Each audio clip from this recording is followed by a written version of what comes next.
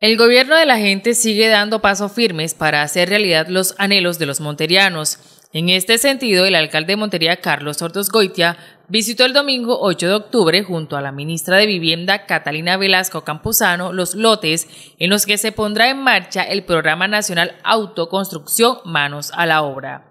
Durante el recorrido, que se realizó en el marco de la fase de alistamiento de la iniciativa, el mandatario local le presentó a la jefa de la referida cartera los planos y prototipos de vivienda que se diseñaron desde las Secretarías de Infraestructura y Planeación para la puesta en marcha del programa en el que Montería es la primera ciudad del país donde se ejecutará. La ministra exaltó la gestión del dirigente monteriano al precisar que nuestro alcalde de Montería está en el corazón del gobierno nacional. Alcalde, gracias por ser el mejor aliado en materia de vivienda. Donde necesitamos socios, necesitamos amigos. Y obviamente el gobierno nacional, el presidente Petro, tiene la mejor amistad y sociedad de trabajo, de cooperación con la alcaldía de Montería. Y eso es el punto más importante. Queremos eh, contarles a todos ustedes que nuestro alcalde de Montería está en el corazón del gobierno, sabemos sus capacidades, su gestión, la transformación que ha hecho en esta ciudad y lo que él dice es verdad. Ya ahorita, estos últimos días, todos los alcaldes están pues como cerrando contratos, haciendo cosas. Es el único alcalde que me llama y me dice, me propone más proyectos, cuando todavía le quedan tres, cuando le quedan tres meses.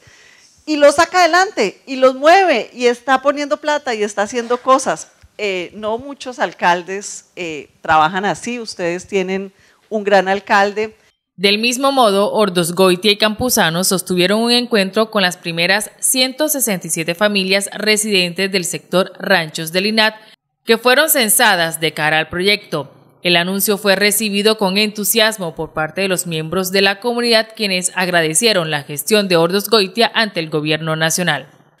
Represento la emoción de cada una de las personas que están aquí presentes porque son muchos años luchando por una vivienda digna. Quiero agradecerle eh, por la gestión al señor alcalde. Eh, fueron muchísimos años que estábamos esperando una noticia como esta. Este proyecto de autoconstrucción que especialmente, como dicen, es el primero que van a poner en marcha a nivel nacional. Me alegra muchísimo que seamos la comunidad, la primera comunidad en recibir el proyecto. Siento que con la gestión que tiene la señora ministra, el gobierno nacional, Gustavo Petro, eh,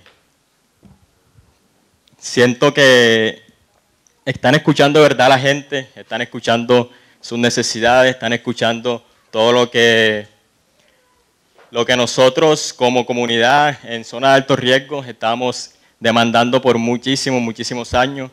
Desde la administración municipal indicaron que avanzan en el censo de las demás familias que en estos momentos residen en sectores de alto riesgo como Sarabanda, El Bongo, entre otros. Chica Noticia, siete años informando a tu lado.